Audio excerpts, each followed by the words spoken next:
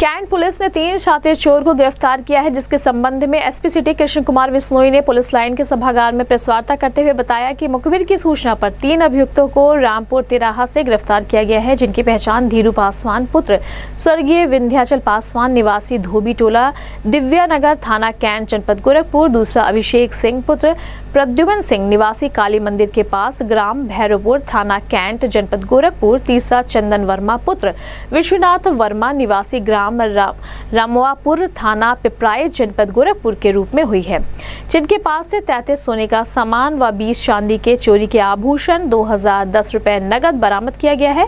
SP city ने बताया कि अभियुक्तों ने पूछताछ में बताया कि 23 अप्रैल को हम लोग तीनों व्यक्ति धीरू पासवान अभिषेक सिंह गब्बर ने मिलकर वीर बहादुरपुरम चौकी क्षेत्र इंजीनियरिंग कॉलेज थाना कैंट गोरखपुर में रेकी करके बंद मकान का ताला तोड़कर अंदर प्रवेश करके जेवरात की चोरी किए थे और इस जेवरात को हम लोग तीनों व्यक्ति मिलकर चंदन वर्मा को जो सोनी चांदी की दुकान किए है, इसके पास ले जाकर बेचे थे।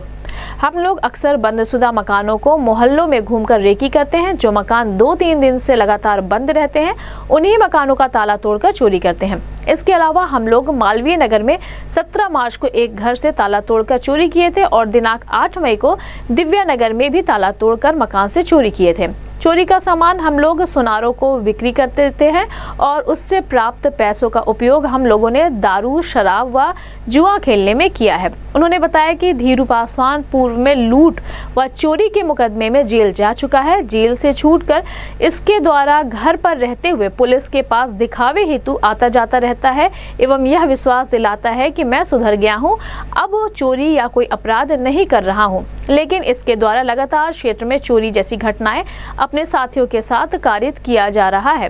गब्बर जो अभी फरार है, वह भी अनेकों मुकदमे में पूर्व में जेल जा चुका है, जिनको गिरफ़्तार कर जेल भेज दिया गया गिरफ़्तार करने वाली पुलिस टीम में कैंट थाना प्रभारी शशिभूषण राय, स्वाद टीम प्रभारी मनीष यादव, इंजीनियरिंग कॉलेज के चौकी प्रभारी अमित चौधरी, उप निरीक्षक अभिनव मिश्रा, अखिलेश कुमार, अरविंद यादव, कांस्टेबल इंद्रेश, राम इकबाल, राजमंगल, रणवीर, अरुण राय, अरुण यादव शामिल रहे। इस संबंध में गोरखपुर न्यूज़ से बात करते हुए एसपी सिटी कृष्ण कुमार विश्नोई ने कहा वाले बाइट क्या देंगे बच्चों का लड़ाई लड़ाई का है कोई बड़ी बात नहीं है।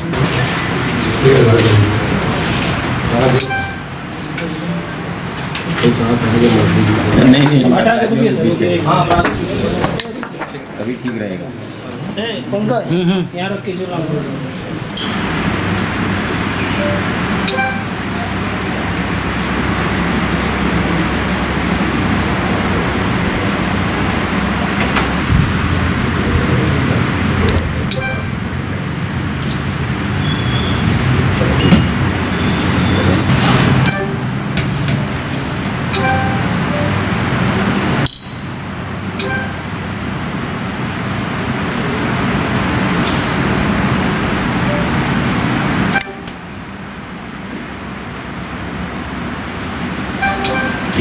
वो दूसरा वाला वो कहाँ है? आ गए क्या वो?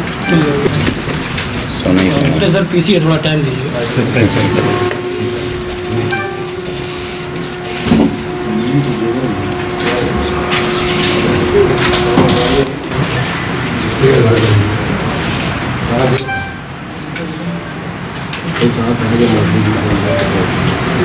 जनपद गोरखपुर में अपराध एवं अपराधियों पर अंकुश लगाने के लिए आज को जनपद गोरखपुर की कैंट पुलिस ने एक बहुत बड़ी सफलता हासिल की है, जिसमें इन्होंने एक महीने पुराना चोरी का केस खोला है, जिसमें तीन अभियुक्तों द्वारा तेईस एवं चौबीस अप्रैल की रात को एक घर में, बंद घर में घुसकर ताला तोड़कर बड़ी मात्रा में ज्वेलरी लेके चले गए थे और उस चोरी की गई ज्वेलरी को आज तीन अभियुक्तों को कैंट पुलिस द्वारा गिरफ़्तार किया गया है।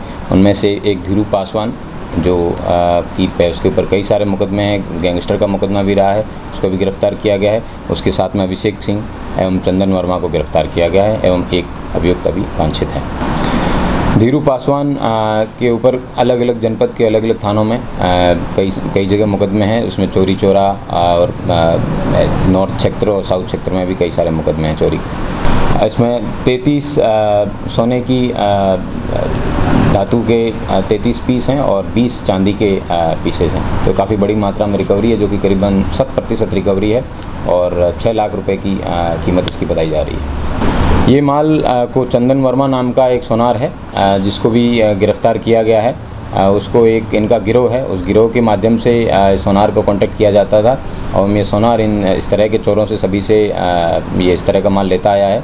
हमें इस पर पूछताछ की जा रही है कि वो सामान को लेके आगे किस तरीके से बेचता था और और भी कौन कौन चोर जो हैं इसके संपर्क में हो सकते हैं।